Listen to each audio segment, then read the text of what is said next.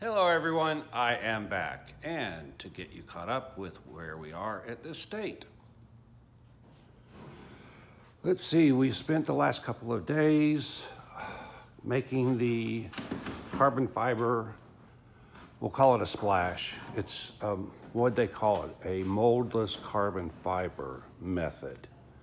So what we did was we took the C2 front end, uh, sprayed it with PVA, and then put the carbon fiber on top of that.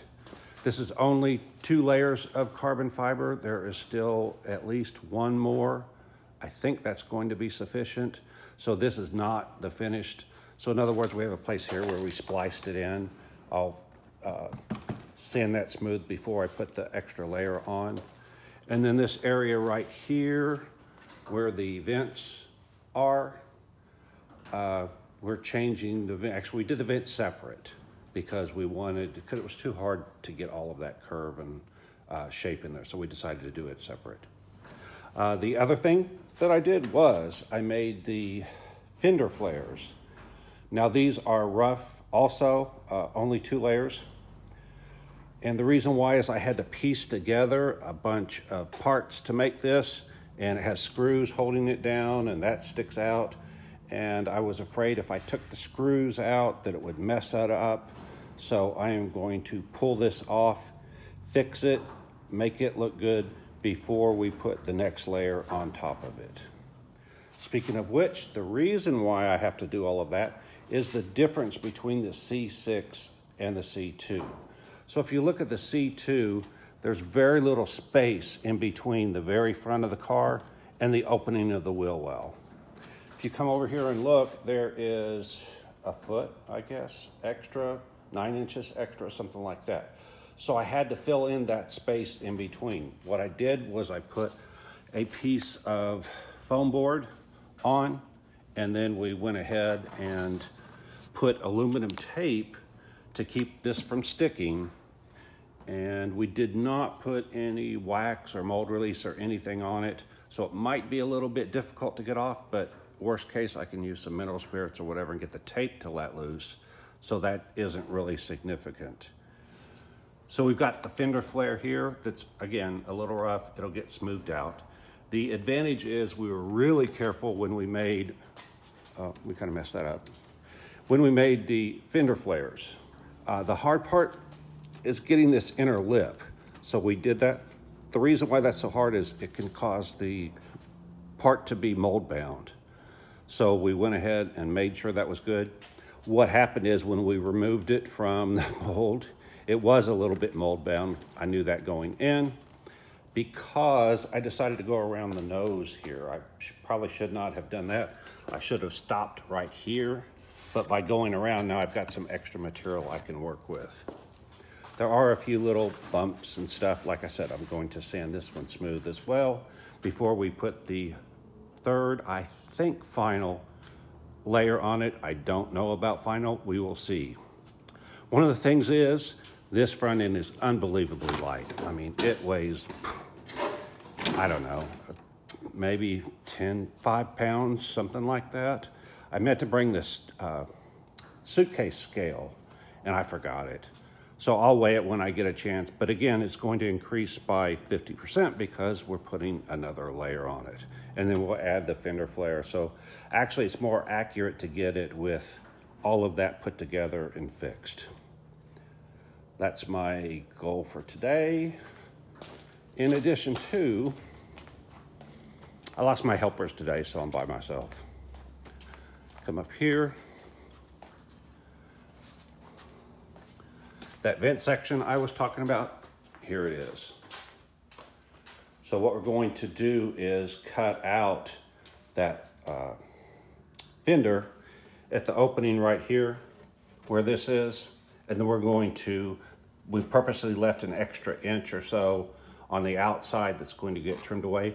And then we'll use bond, the compound uh, panel bond, and bond this in from the back side after we accurately cut the opening.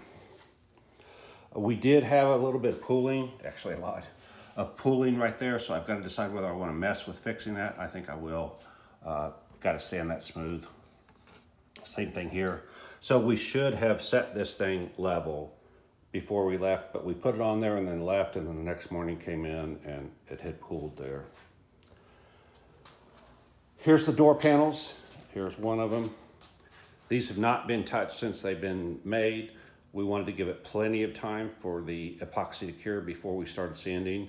Now is that time, so that's going to be on the agenda soon to go off and sand this smooth. It will probably get yet another layer of epoxy after it's sanded smooth. It's kind of silly to, to sand it uh, relatively smooth and leave, I'm sorry, it's kind of silly to add another layer when there are obvious issues with this layer. So what we're going to do is sand this smooth, then put another layer of epoxy. And the only reason I'm putting the other layer of epoxy is there's still some areas where you can see the uh, pattern of the carbon fiber, which means that that's pretty thin right there.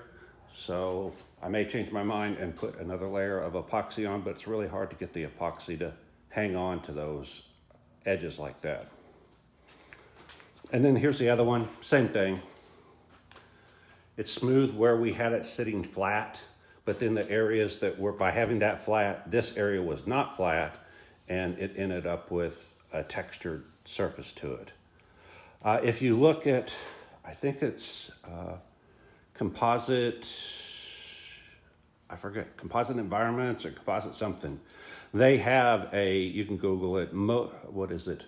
Moldless carbon fiber method where they make a car carrier and they use the, they use foam and then make a part out of it without using uh, a mold. Now, what we're going to do is after we get through with all of this, all of this is going to require modification. We're going to make molds for this stuff. So right now, the goal is to simply get everything looking good enough and smooth enough and all that, that we will have final, quote, final parts for the prototype. And from that, either we'll directly make molds from these parts, or I've got a 3D scanner and we can 3D scan it. And then uh, I have a five axis mill that is supposed to be operational, hopefully within the next month. Um, right now, it is a huge uh, shelf. So we'll see. I'm trying to think of anything else. Oh, and so some people have been talking about doing vacuum bagging and infusion. Well, and they said, oh, the stuff isn't that expensive. Well, I looked on Amazon and it is almost $1,500 for the stuff to do uh, vacuum. I'm sorry, I just can't see spending $1,500 right now. Um, I think we can get the stuff done without spending that money. The advantage I have is the people that help me, I hire them, I pay them, you know, decent but not great. And so, you know, at their rate, I could have them spend an entire day sanding stuff and still come out a lot cheaper than uh, buying all that vacuum stuff. Plus, then I have the consumables and the hassle and all of that stuff. All right, there's still a lot to do. I'm still debating how much more of this car to make out of carbon fiber. Already made the decision to make the front end out of carbon fiber, including that lower spoiler. The doors are already carbon fiber.